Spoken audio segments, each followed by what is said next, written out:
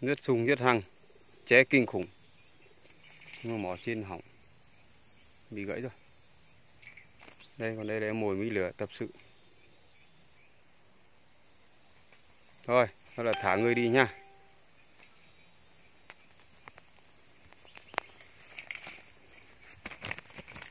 Đây, chui cái cổ ra. Rồi đây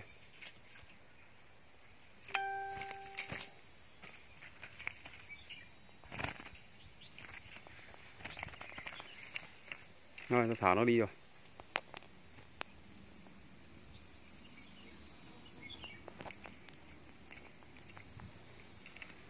Mai kia là quay trở lại xem là treo lên xem nó còn dám đánh nữa không? Đây là lần thứ năm em nó bị sập bẫy.